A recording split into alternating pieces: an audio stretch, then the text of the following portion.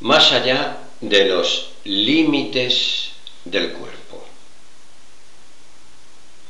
Un gesto psicológico débil y anémico no puede despertar la voluntad y los sentimientos del actor.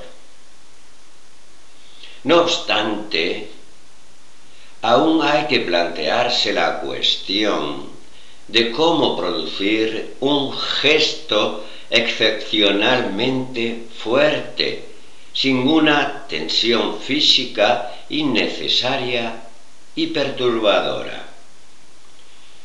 Supongamos que extendemos enérgicamente los brazos, las manos y todo el cuerpo hacia un lado. Este es nuestro gesto psicológico. Al producirlo con fuerza, podemos sentir las limitaciones de nuestro cuerpo físico más que la fuerza real del gesto. Cuanto más intensifiquemos el movimiento físicamente, con mayor fuerza sentiremos la tensión de nuestros músculos y su inevitable contracción. Nuestro cuerpo físico ha recibido un fuerte impulso interior que lo empujó hacia un lado y después de lo cual el movimiento físico se interrumpió y el cuerpo se inmovilizó. Pero el impulso interior, la actividad inicial, no debe interrumpirse. Puede y debe continuar al margen de la incapacidad del cuerpo para seguir. Después de haber completado físicamente el gesto psicológico, debemos mantener interiormente el movimiento hacia un lado. Para ello, no es preciso tensar el cuerpo. Todo lo contrario, la tensión física debe liberarse, aunque no ha de desaparecer del todo. El primer esfuerzo nos mostrará que todo gesto puede mantenerse interiormente durante el tiempo que queramos. Tanto si estiramos la mano y seguimos el estiramiento imaginario, como si apretamos el puño con fuerza, en cuyo caso la propia actividad parece inmovilizarse. No hay diferencia. El puño apretado obviamente llega a un estado de inmovilidad, pero ¿qué nos impide proseguir la energía del acto de apretar?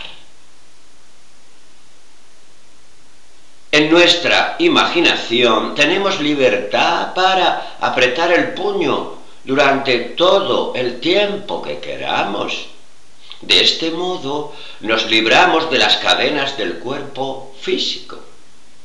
Esta actividad constituye la verdadera fortaleza del gesto psicológico.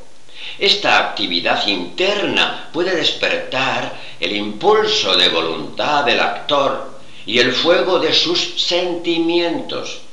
Esta fuerza acumulada es lo que se debe utilizar en el escenario nunca la fuerza ilusoria de los músculos tensos.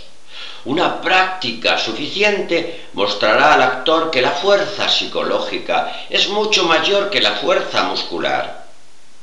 También comprenderá que su fuerza psicológica es la que transmite al público todo lo que dice, siente, hace y desea como personaje en la escena.